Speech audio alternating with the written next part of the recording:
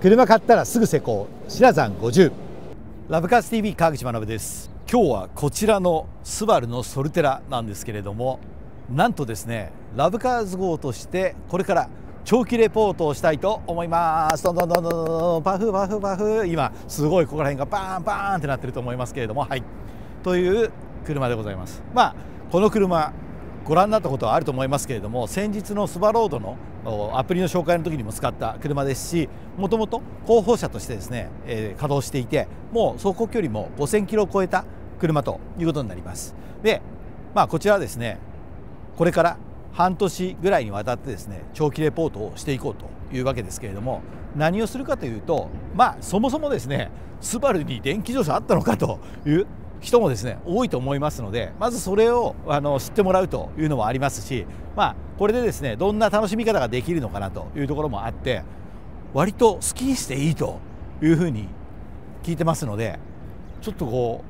うボディカラーとかですねその辺りも今これダークブルーマイカ純正色ですけれども変えたりとかですねいじっちゃおうかなというふうにも思ってますしまあ面白いなんか使い方できないかなと思いますのでこうリアルにですね生活の中で使って、まあ、電気自動車どうなのよというところをですね皆さんにこれからお伝えしていこうと思います。まずおさらいとしてこのソルテラどういう車なのかというところでですねご説明していこうと思いますけれども3サイズ全長が 4690mm 全幅が 1860mm そして全高が 1690mm ホイールベースは 2850mm というサイズになっております。まあ私あのクラウンスポーツも乗ってますけれどもクラウンスポーツから比べるとちょっとですね全長が短くて全幅もですねちょっと小さくてまあ、全高はですねこちらの方が高いというようなそんなですね違いがあるかなというところで、まあ、家のクラウンスポーツ置いてあるところに置くと高さがある分ちょっとこうかなりですね存在感あるなという感じのものであります。でこのソルテラという車なんですけれどもトヨタの BG4X という電気自動車がありますが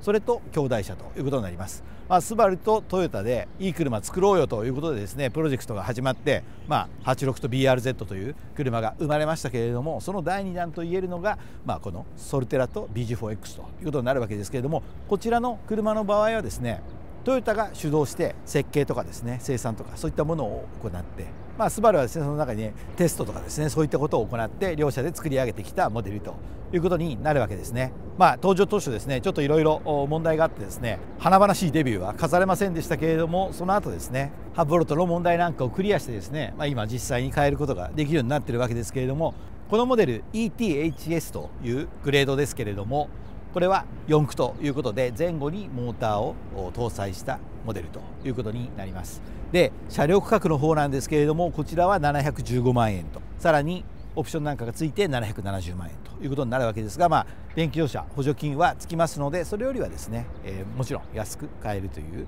そんなですね1台で、まあ、大体700万前後という値段になるかなというところでございます。で今回長期レポートで乗っていこうということになってやっぱりこうして見てると僕ねあのちょっとベージュのなんかアスカラっぽいラッピングしたいなと今もうすでに思っております。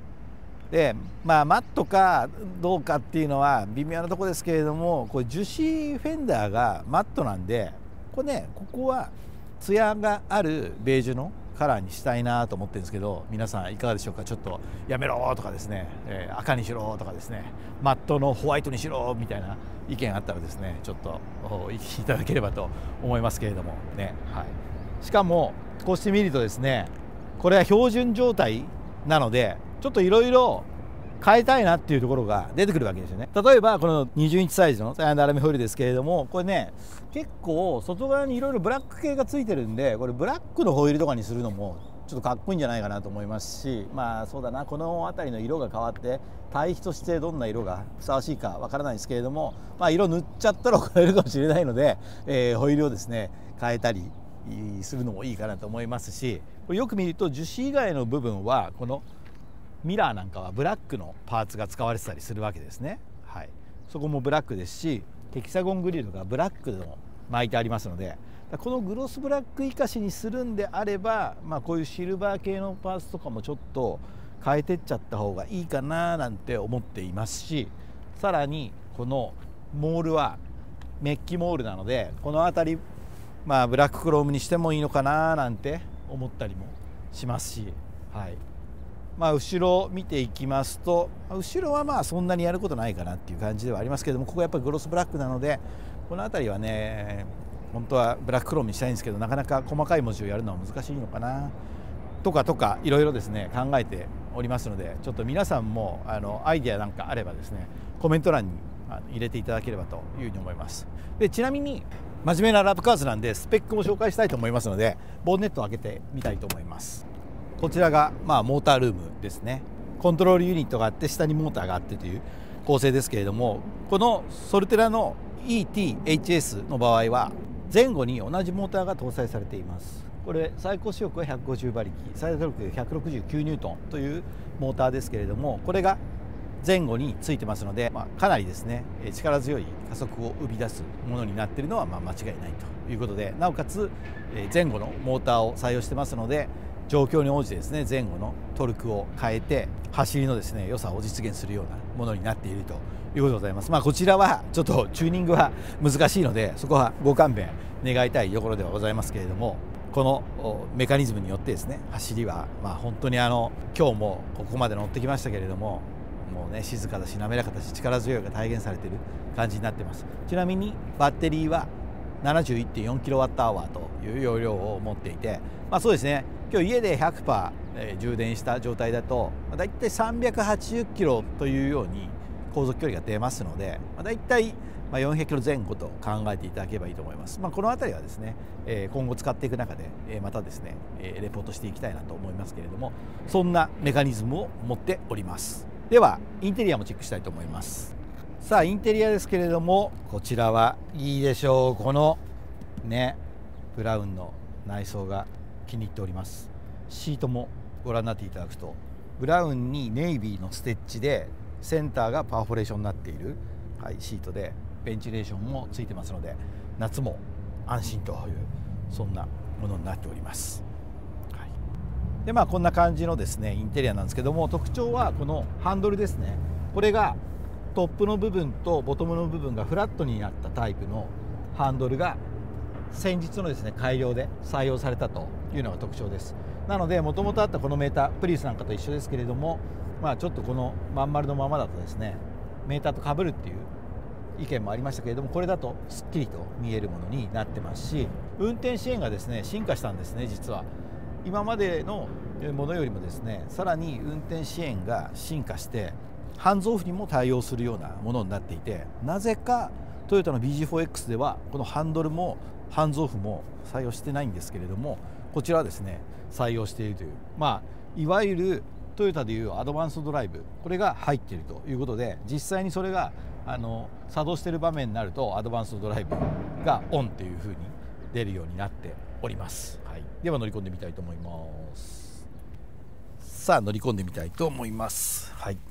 のような感じでまあ、乗り込みますとこのブラウンの内装がいいなっていうのと、まあ、モニターが大きくてここら辺がグロスブラックのパーツになっていて、まあ、先進感はあるかなというところですねちなみにパワースイッチはこちらでございますでパワーオンすると